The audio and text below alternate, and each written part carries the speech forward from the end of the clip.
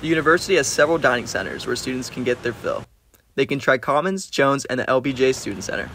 Breakfast foods that are made in the dining halls are very similar in, in richness and overall the use of potatoes is fantastic. Some fan favorites are on campus, such as Chick-fil-A and Starbucks. Um, I would say Hinze's is like a barbecue place. Um, it's like a childhood barbecue place that I used to go to. I really enjoy that. I miss it. I miss being home. And then another thing I would say is Chick-fil-A, as you can see. And if the choices on campus don't satisfy, the City of San Marcos has a wide array of restaurants all hoping to cater to students' appetites. The choices range from local favorites to national franchises. There's something for everyone. For Bobcat Update, I'm Christian Reyes.